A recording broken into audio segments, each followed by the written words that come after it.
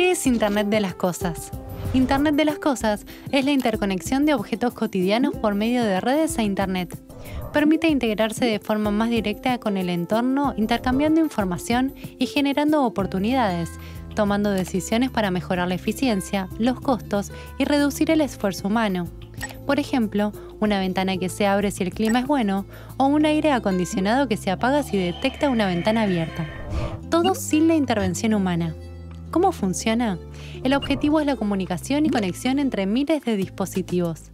Trajo un cambio radical en la manera de trabajar. Se optimizan recursos energéticos y operativos, llevando todos los procesos a una nueva instancia de eficiencia. Por ejemplo, el uso de la iluminación inteligente colabora para reducir el consumo de energía, iluminando los ambientes cuando se detecta movimiento y apagando las luces cuando no lo hay. Esta hiperconexión aumenta el tráfico de datos y la información es almacenada, procesada y analizada con software muy poderosos capaz de accionarse automáticamente para tomar decisiones.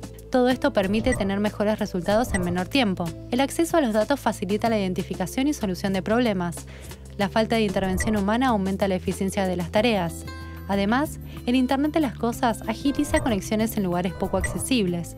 Con aparatos conectados entre sí, se superan malas coberturas.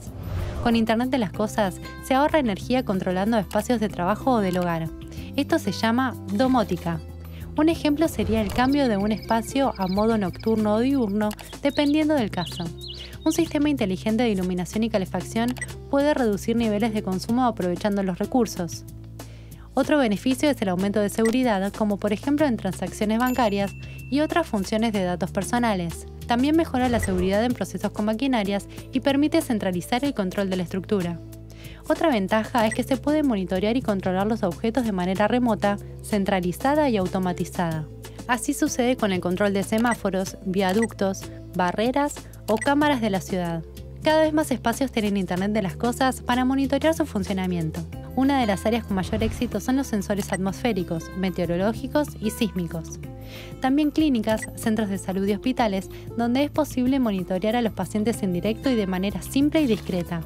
La inteligencia artificial, los teléfonos inteligentes, los electrodomésticos conectados a Internet y otros dispositivos crean un nuevo paradigma en los procesos de la vida cotidiana, generan una nueva forma de comportamiento en las ciudades y otorgan más tiempo libre.